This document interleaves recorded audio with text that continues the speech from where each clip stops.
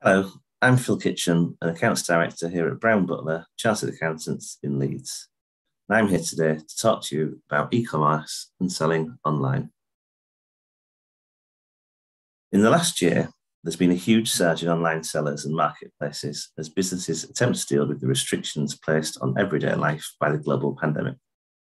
In fact, within the first four months of the original lockdown, more than 85,000 businesses launched online stores or joined existing online marketplaces. And since then, more and more businesses have sprung up as both new entrepreneurs enter the market and established businesses build successful e commerce offerings. According to market research, the UK is now the third largest e commerce market in the world. However, this surge in online selling is not just a product of the pandemic. Over the last few years, more and more people have been shunning the high street and retail parks in favour of buying online.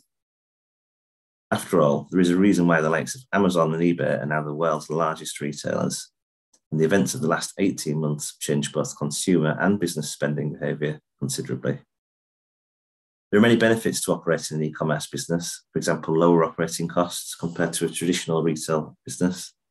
And it could also be easier to scale up and grow. There are, however, a number of things that both new and established businesses need to consider and understand when setting up shop online.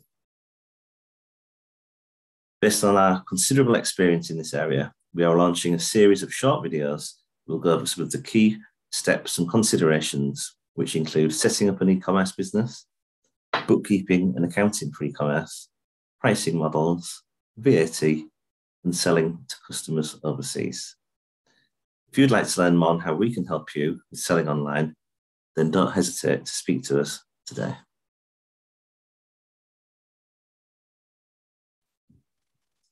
Setting up a new business can be an exciting prospect, but it is not without challenge.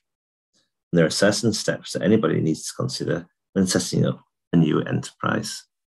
This might include which structure to use, business banking, insurance requirements, Companies House reporting requirements, and any careful tax planning. We have helped a number of clients set up new online businesses and help them navigate the complexities and opportunities that they face in launching their new venture. We've also helped existing clients diversify into the world of e commerce, either through their current company or by setting up a new subsidiary. When setting up a new business, we must consider the right structure to use. This can include registering as being self employed or a sole trader, partnership, or registering a new company. Limited company structure brings many advantages, both from a tax and personal liability point of view. However, it does come with important obligations and responsibilities.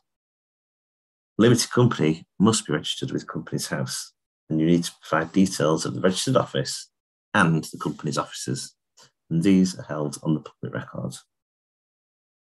This includes naming people who have significant control of the business, and the company must appoint at least one director as part of the incorporation process.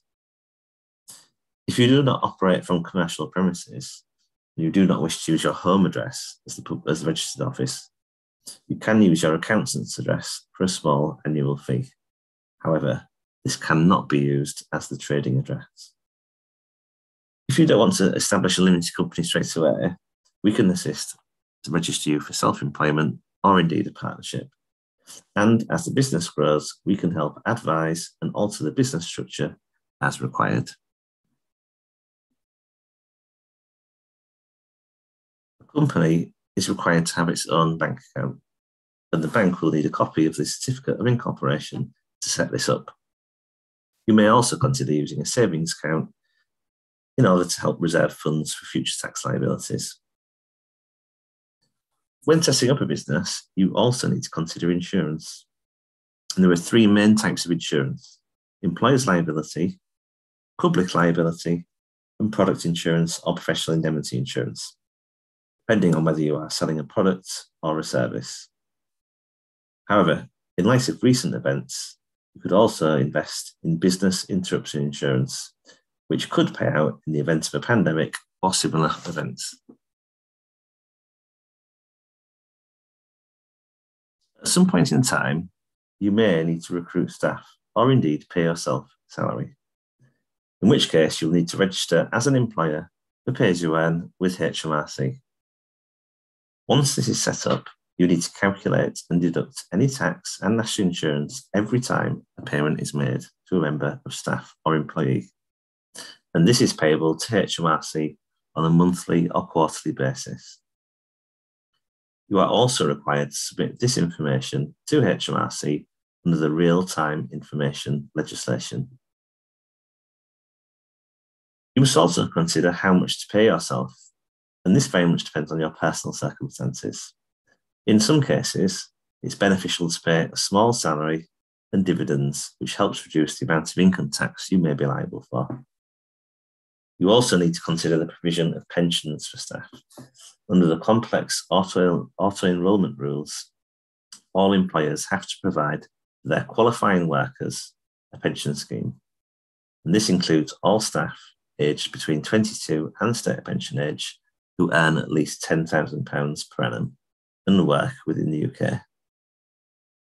And lastly, it's recommended that you have formal contracts of employment for all your staff.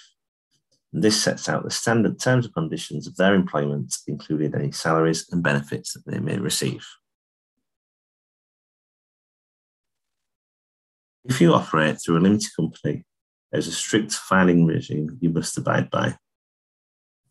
Every limited company in the UK is required to file their accounts with the registrar. Accounts are usually made up to the business's year end, and this is usually based on the month in which it was incorporated. It is possible to change the company's year end, but an accounting period must not exceed 18 months. There are also restrictions on extending the year end more than once in five years. The annual accounts must comply with the Companies Act. This includes both the format of them and also the notes to the accounts. Smaller businesses can file filleted accounts or micro company accounts if certain conditions are met.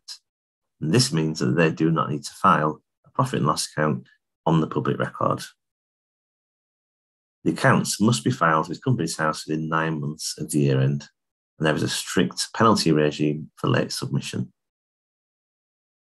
In addition, every year a company must file a confirmation statement.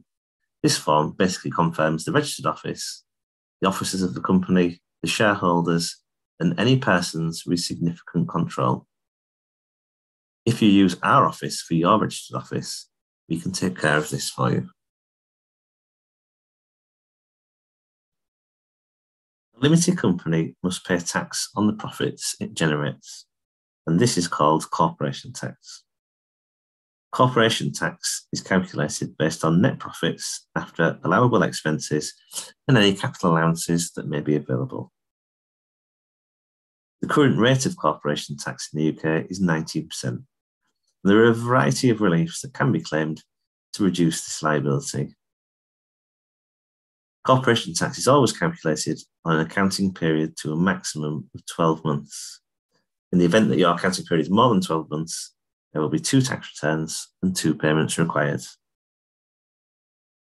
As a general rule, corporation tax is paid nine months and one day after the accounting period ends.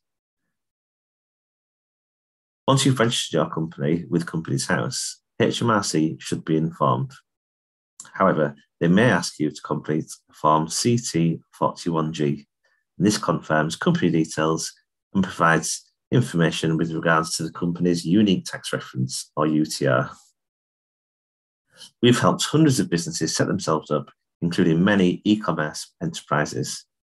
To find out how we can help, don't hesitate to contact us today.